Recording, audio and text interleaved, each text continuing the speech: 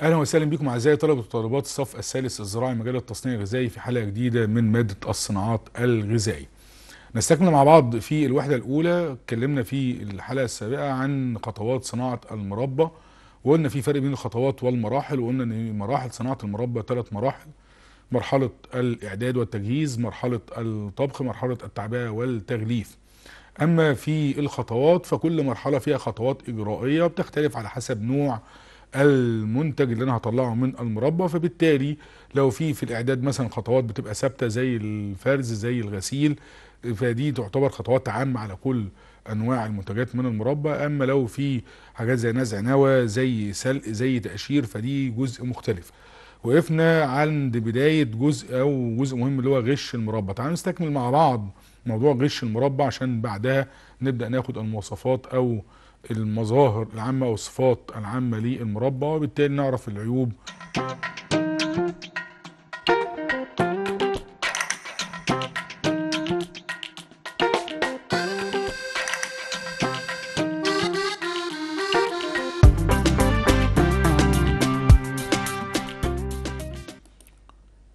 غش المربى.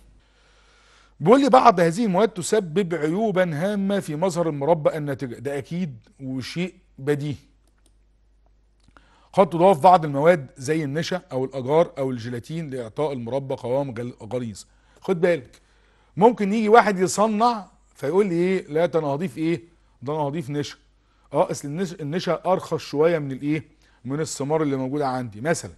فبالتالي عايز يخلي القوام بتاعي قوام ماسك. طب هو يعني يا مستر لما هيضيف نشا ده النشا دلوقتي أصبح سعره كمان مرتفع.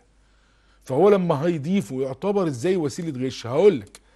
لأن لما أنا بقول لك في تصنيع المربى أنا بقول لك مواد خام نباتية. خد بالك من اللي أنا بقوله ده. ها؟ مواد خام نباتية مع إيه؟ مع سكر. وبالتالي لما أجي أقول لك مواد خام نباتية مع سكر أنا ما ذكرتش سيرة أي سوائل. ولذلك قلت لك ضيف السكر على الفاكهة وسيبها ثلاث ساعات عشان تعمل لي سائل من العصارة بتاع الفاكهة. فالمربى لا يضاف إليها ماء في عملية التصنيع. وصلت كده؟ فهو هيعمل إيه؟ هيعمل غش مزدوج. هو هيضيف مية وهيضيف ماده رابطه يبقى هو زود بكمية من المية وزود بكمية من الماده الرابطه غالبا ده بيعمل لي عيوب في الإيه؟ عيوب في الصناعة. كيف تعرف النقطة النهائية التي ينتهي عندها طبخ المربى؟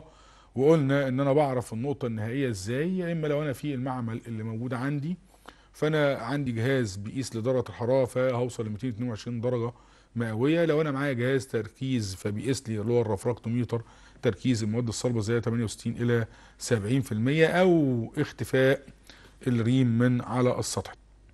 وصول درجة حرارة المخلوط من 220 إلى 222 درجة فرنهايتي قياس تركيز المواد الصلبة الذائبة بالرفراكتوميتر وتصل من 68 إلى 70% اختبار الملعقه الخشبية أيضا اللي هي وضع جزء من المربى بعد تبريدها بين الأصابع اللي هي الإبهام والسبابة فيلاحظ تكون خيوط أو شكل من الخيط الرفيع عند فصل الاصبعين عن بعضهما ديت بتديني دلالة على نهايات طبخ المربى.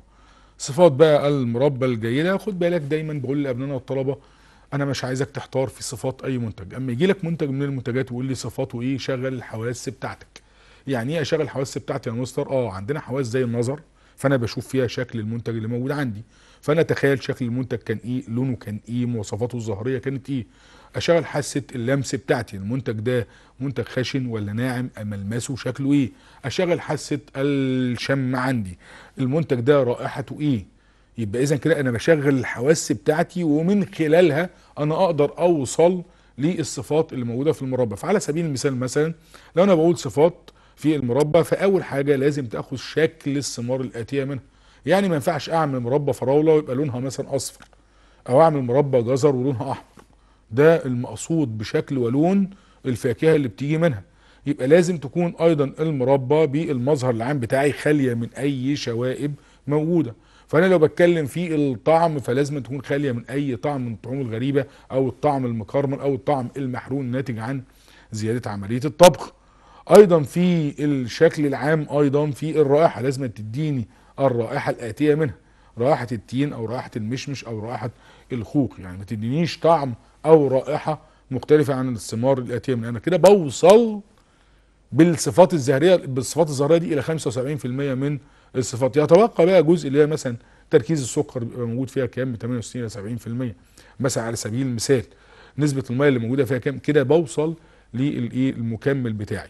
تعال نشوف كده مع بعض صفات المربى الجيده احفظها باللون الطبيعي الذي يأتي منه من استخدام فاكهة تامة النضج وسكر نظيف الطهي الجيد تحت تفريغ. أي لا يقل تركيز المنتج النهائي عن 68% خالية من الطعم المختمر أو المتخمر أو أي طعوم غير مرغوب فيها. عدم وجود ماء منفصل على السطح خالية من أي مظاهر للعفن. اكتساب قوام جيد بسبب استخدام كل من الحمض والبكتين والسكر بالنسب المطلوبة. مظاهر بقى فساد وعيوب المربى. نسبة تحويل السكروز اللون والنكهة درجة الحموضة درجة الربط. نسبة المواد الصهوية مستر اللي قدامي على الشاشة ده هي الفساد؟ لا أنا بقول لك بيجي منين؟ إيه المظاهر؟ بيجي منين؟ هيجي نتيجة اختلال في النسب؟ اختلال في السكروز المستخدم اختلال في درجات الحرارة المستخدمة اختلال في نسبة الحموضة الموجودة أو المواد الصلبة. عدم إضافة الحمض العضوي البكتين بالنسبة المطلوبة اختلاف النسب اللي موجودة عندي. زيادة مدة الطبخ عن اللازم يؤدي إلى تحلل البكتين فبالتالي مش هستفيد منه فيعمل لي سيولة في المربى. عدم اتزان مكونات المخلوط من السكر والحمض والبكتين فبالتالي أيضا هيعمل سيولة في المربى. أيضا إضافة الحمض والبكتين في مرحلة مبكرة من عملية الطبخ وأنا قلت لك الكلام ده علل ليه بضيفهم في نهاية عملية الطبخ الطبخ مش بداية عملية الطبخ. ارتفاع أو انخفاض نسبة الحموضة عن اللازم يؤدي إلى سيولة المربى. طب علاج بقى إيه؟ لازم أتلافى كل اللي فات ده. إن أنا أضيف كل من السكر والحمض والبكتين بالنسبة المطلوبة في التصنيع. إن أنا أعمل طبخ على المدة اللازمة اللي هي درجة الحرارة الملائمة ل 220 أو 222 درجة فahrenheitي ان أنا أيضا أضيف الحمض والبكتين في المراحل الأخيرة من عملية الطبخ لمنع عملية التحلل ده أول عيب. عيب بيقول لي عفن المربى وتخمر المربى. بديهيا أبدأ بخامة جيدة زي ما قلت لك أنتهي بمنتج جيد. وصلت لمرحلة العفن يبقى لازم تعرف إن عندي مشكلتين. مشكلة في الخامة اللي دخلت يبقى خامة رديئة. وبالتالي وصلت لمنتج رديء على رأسه اللي هو الإيه؟ العفن أو التخمر. أو أنا دخلت في العمليات التصنيعية بأدوات غير نظيفة. تاني يعني أنا استخدمت خامات رديئة يا الخطوات التصنيعية بتاعتي غير جيدة يا أنا ما وصلتش كمان للتسوية اللازمة يا ما ضفتش السكر أو ما وصلتش للتركيز بالشكل المناسب. فبالتالي عندي نسبة من الماء فتعمل لي عملية من من أنواع العفن في المربى النتيجة. انخفاض التركيز على النسبة المطلوبة يعني ما يحصل مشكلة عندي وتخمر في المربى التلوث بعد عملية التعبئة أيضا أو أثناء عمليات التصنيع خلي بالك. التعبئة على درجة حرارة أعلى من اللازم يؤدي إلى تكاثف الماء. خد بالك لأن أنا قلت لك في النقطة دي بالتحديد. قلت لك في المعامل عندنا يفضل إن أنا أعبي على درجة حرارة عالية اللي هي بتنزل منها المربى في البرطمانات. لكن أنا قلت لك لاحظ في الحلقة السابقة إن أنا ما اقفلش البرطمان مباشر. إن أنا أدي فرصة إن المربى تبرد عشان ما يحصلش تكاثف لقطرات من الماء فيعمل لي العفن في المربى. هو ده الجزء أيضا اللي موجود فيه العيب اللي موجود عندي. تعال نرجع كده مع بعض. الوصول إلى التركيز المطلوب بقى إن أنا العيب برضو التعبئة عند درجة الحرارة المناسبة دي كلها بقى عشان أتلافى العيب اللي موجود عندي. إن أنا أوصل إلى التركيز المطلوب إن أنا اعبي على درجة الحرارة المناسبة طب عيب مهم قوي تسكير المربى. خد بالك يقول لي علل ظهور ظاهرة التسكير في المربى. رقم واحد وأنا بديهيا كده قلت لأبناء وبناتنا الطلبة آه إن أنا ما ضفتش حمض الستريك بالإيه؟ بالشكل المناسب. ليه؟ لأن هيحصل تسكير معناه إن السكر الأحادي أو السكر الثنائي اللي انحل الأحادي بيرجع تاني يتحد مع بعضه. طب اتحد مع بعضه ليه؟ لأن ما ضفتش الحمض بالشكل المناسب فما عملش الإحلال. أتلافيه إزاي إن أنا أحط 3 جرام إلى 4 جرام من حمض الستريك لكل كيلو جرام سكر مضاف. تعالوا مع بعض كده العيب عدم إضافة الحمض بالنسبة المطلوبة في عملية التصنيع وبالتالي العلاج إن أنا أضيف الحمض العضوي بالنسبة المطلوبة اللي هي 3 جرام إلى 4 جرام لكل كيلو جرام سكر. تغير لون المربى بديهي واحد ان أنا ممكن أستخدم خامات رديئة فبالتالي يديني منتج رديء. ده بس يا مستر لا أنا ممكن أزود نسبة الحمض عن اللازم فبالتالي أثناء عملية التسوية يديني اللون الداكن ممكن أزود مدة الطبخ عن اللازم فيديني اللون الغامق اللون الكرملة اللي هو تفاعل Maillard reaction وبالتالي يديني اللون البني القاتم. كل ده يغير في لون المربى اللي موجود عندي. استخدام فاكهة فقيرة في اللون وغير تامة النضج أيضا. استخدام خامات رديئة في التصنيع فيديني لون مغاير. استخدام أوعية من النحاس أو الحديد الغير مطلي في عملية الطبخ فيحصل أكسدة ما بين الخامات وما بين جسم أو الأواني أو الأوعية زيادة مدة الطبخ عن اللازم. علاج تغيير اللون بقى إن أنا أتلافى كل اللي فات ده. استخدام خامات جيدة. عدم زيادة الطبخ عن المدة المطلوبة. استخدام أوعية الطبخ المصنوعة من الصلب الغير قابل للسلق العيب ضعف القوام يشبه طبعا قوام اللي هو السائل فأنا بتكلم في انخفاض نسبة البكتين عن اللازم. عدم الوصول إلى درجة التركيز المطلوبة. نسبة الخلط أو نسب الخلط غير متوازنة ما بين السكر للبكتين للفاكهة للحمض. استخدام بكتين ذو درجة منخفضة من الجودة. علاج ضعف القوام اتباع خطوات تصنيع جيدة. استخدام بكتين عالي الجودة بالنسبة المطلوبة استخدام نسب خلط متوازنة. أيضا وصول بالتركيز إلى الدرجة المطلوبة تعبئة المربى عند درجة حرارة مناسبة. صناعة الجلي اختتمنا كده مع بعض صناعة المربى ندخل بقى في النوع الآخر اللي هو صناعة الجيلي. وخد بالك لما أقول جيلي ارجع افتكر التعريف بتاعي. الجيلي هو عبارة عن إيه يا مستر؟ ببساطة هو عبارة عن تسخين مزيج من ثمار أو عصير الثمار مع السكر في وجود الحمض والسكر والبكتين يبقى أنا هجيب ثمار أعمل لها عملية عصير وبعد ما أعمل عملية عصير أعمل تصفية ثم ترويق عشان أتي أشيل أكبر جزء, جزء ممكن من اللب والتفل المتبقي في العصير عشان ما يدينيش شوائب داخل الجيلي بتاعي. الجيلي هو حالة غروية يشترك في تكوينها البكتين والسكر والحمض. خد بالك من النقطة دي قوي. وجود نظريات بقى كتيرة بتفسر الحالة دي وبتفترض إن البكتين مادة غروية ذات شحنة سالبة وحبيباتها بتحاط بالماء مع وجود السكر بيمتص الماء فبيكشف الشحنات السالبة فبيخش الحمض اللي هو شحنة موجبة فبالتالي يعادل الايه الشحنة اللي موجودة عندي فبالتالي يديني الخيوط الرفيعة اللي بتوصل للقوام الهلامي تاني عشان أشرحها لك عشان تفهمها. هو القوام الهلامي بيتكون إزاي؟ في نظريات عديدة بقى بتتكلم إزاي أكون قوام هلامي اللي هو الجيلي اللي أنت بتشوف حلقه الرجراجة. هي ما بتحصلش إلا برضه في وجود الثلاث حاجات دول السكر والحمض والبكتين تاني. لازم الثلاثه يبقوا موجودين. وبالنسب الإيه؟ المظبوطة. سكر حمض بكتين. عايز يقول لي إن البكتين ده بيحمل شحنات سالبة. البكتين المضاف اللي هو أصله نباتي. ارجع بالذاكرة الحلقة الأولى. أصله نباتي. بيحمل شحنات سالبة. بس محاط حواليه لما أجي أصنع بطبقة من الماء اللي هي غالبا هتيجي من عصير الفاكهة اللي موجودة عندي. مش الفاكهة ديت أنا قلت باخدها أعمل لها عملية عصر وآخد عصيرها. فلما آخد العصير اللي موجود ده وأحط عليه سكر وبعدين حمض وبكتين فالبكتين اللي هو شحنة سالبة حواليه نقط من القطرات بتاعة العصير والماء. دور السكر هنا إنه يمتص النقط اللي موجودة دي من الماء أو العصير. فيكشف الشحنة السالبة اللي على الإيه؟ اللي على البكتين. يدخل الحمض هنا وده شحنته موجبه فيعمل تعادل مع الشحنة السالبة اللي موجودة في البكتين. فيبدأ ينزل على شكل خيوط في المحلول. مع رفع درجة الحرارة يبدأ يديك القوام الهلامي دي النظرية بمنتهى البساطة. عشان كل أبنائنا وبناتنا وكل مشاهدينا يعرف إزاي بيتكون الجل أو القوام الهلامي يبقى عندي سكر عندي حمض عندي بكتين.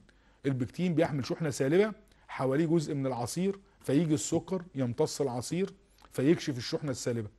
يجي الحمض اللي هو شحنة موجبه يتعادل مع الشحنة السالبة اللي في البكتين مع درجة الحرارة يكون الخيوط الهلامية ثم القوام الرجراج اللي بتشوفه فيه الجيلي تعال نرجع مع بعض كده تاني.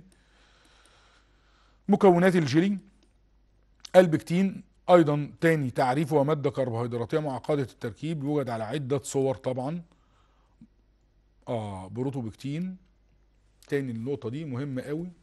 دايما لما يجي يسألني يقول لي في اختيار الصنف المناسب هو أنا ليه علل يتم اختيار الصنف المناسب في صناعة سواء المربى أو الجيل أو المرملات؟ يعني إيه اختيار الصنف المناسب يا مستر؟ يعني مثلا على سبيل المثال لما أجي أتكلم مثلا في فاكهة زي مثلا التين فأنا أقول له والله التين منه يا إما أقول حاجة اسمها فاكهة غير تامة النضج أو فاكهة تامة النضج أو فاكهة زائدة النضج. أي فاكهة أو أي خضار في الثلاث مراحل دول. يا إما ثمار خلينا بقى نعمم مش هنقول فاكهة أو خضار أو أزهار هنقول ثمار. فالثمار غير تامة النضج ثمار تامة النضج ثمار زائدة في النضج. فأصل الموضوع أنا محتاج بكتين عشان يربط الإيه؟ الجيلي اللي موجود عندي. فلو أنا استخدمت ثمار غير تامة النضج فمش هيحصل إيه؟ التكوين ده. ليه؟ لأن البكتين على شكل حاجة اسمها بروتوبكتين ودي مادة لا يمكن الاستفادة منها في التصنيع. لو استنى لو أنا استخدمت ثمار زائدة النضج فالبكتين على شكل حمض بكتيك فايضا هيبقى متحلل فمش هستفيد منه في التصنيع. أما الثمار اللي في النص اللي هي تامه النضج البكتين على شكل البكتين هستفيد منه في التصنيع. يبقى مهم قوي تفرق إن أنا ليه بختار ثمار تامه النضج. طبعا زي ما انت شايف الثمار غير تامه النضج اللي هي الخضرة اللي قدامك دي. عايز يقول لي اللون الأخضر ده. فالثمرة دي مش تامه النضج. البكتين على شكل بروتوبكتين مش هستفيد منه. أما البكتين اللي بيستفاد منه في الفاكهة تامه النضج. هتلاقي حتى الثمرة مكتملة اللون وتامه النضج. طب تعالى بقى الثمار اللي اتهرست قوي اللي هي زادت في النضج قوي. فالبكتين هيبقى على شكل بكتيك أو حمض بكتيك مش هستفيد منه. مكونات أيضا الجيلي الحامض. الأكثر استعمالا في الصناعة هو حامض الستريك ليه؟ خد بالك أنت عرفت بقى لملائمته لنكهة معظم الإيه؟ الفواكه.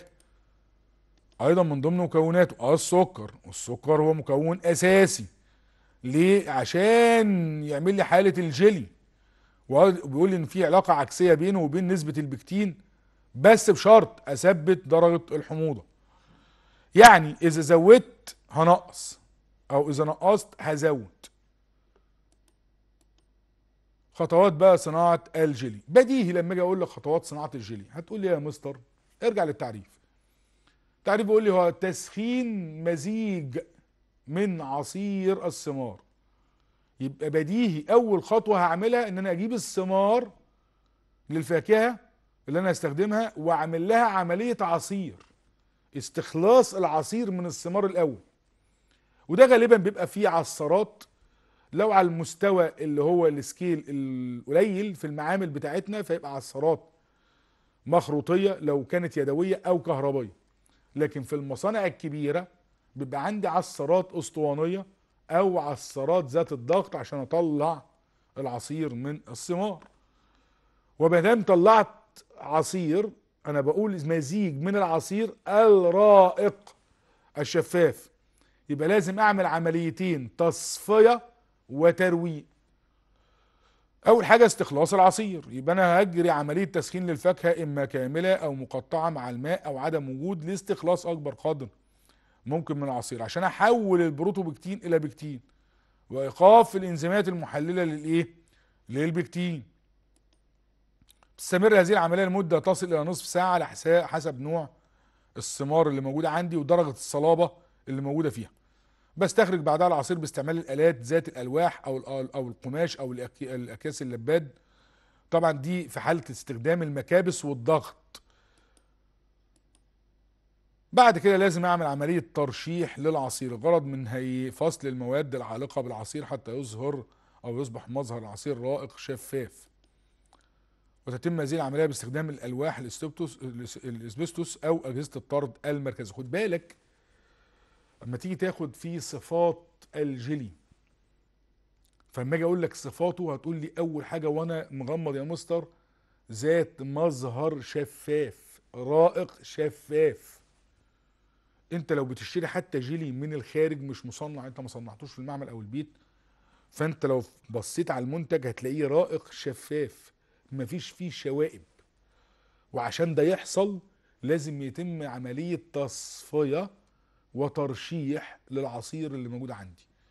يا إما في مصافي يا إما في ألواح معينة أو في مرشحات بضخ العصير فيها من ناحية فبتحجز التفل وبتطلع لي العصير من الناحية الأخرى خارج منه الشوائب أو التفل اللي موجود فيه نتيجة عملية العصر.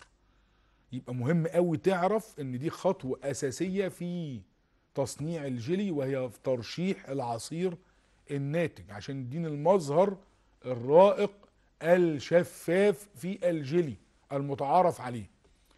إضافة السكر والحمض.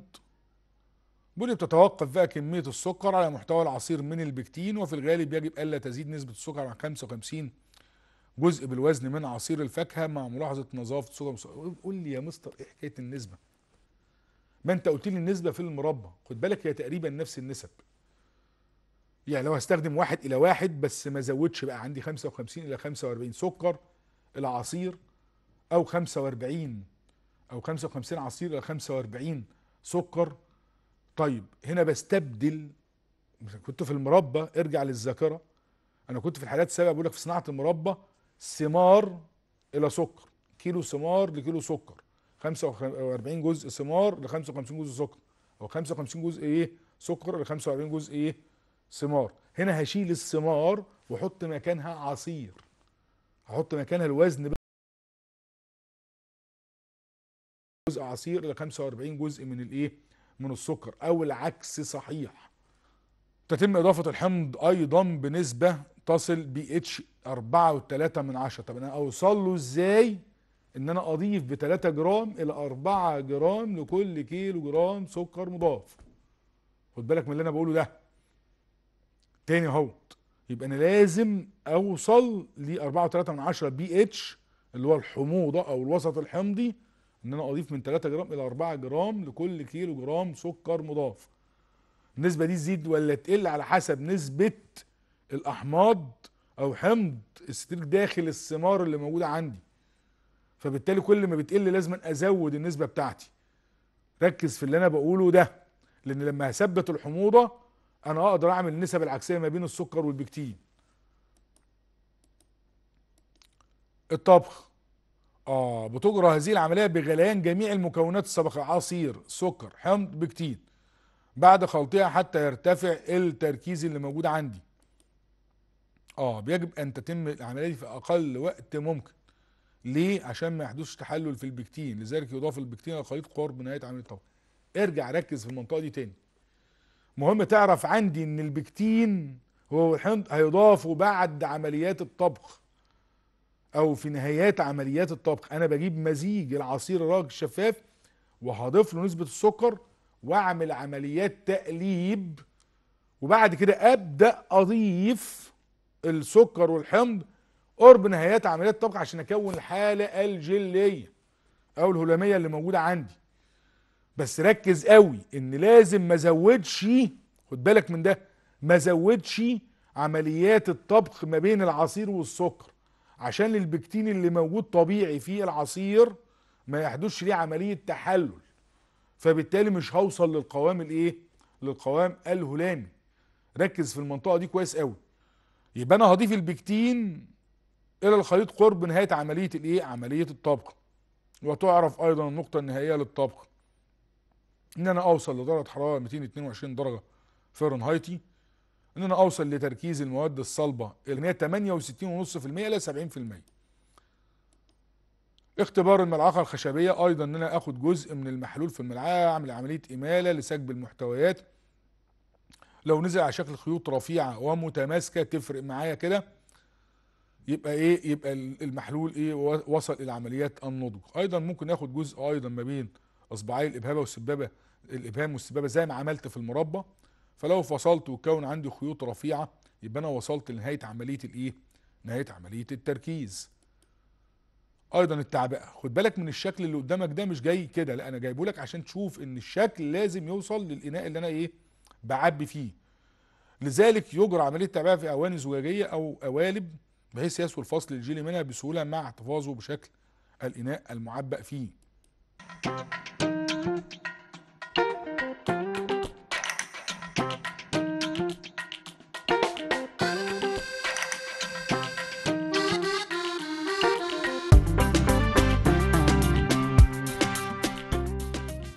وبكده نكون وصلنا إلى نهاية حلقة النهارده وأتمنى يكون كل مشاهدينا استمتعوا معنا وإلى لقاء آخر بإذن الله والسلام عليكم ورحمة الله وبركاته.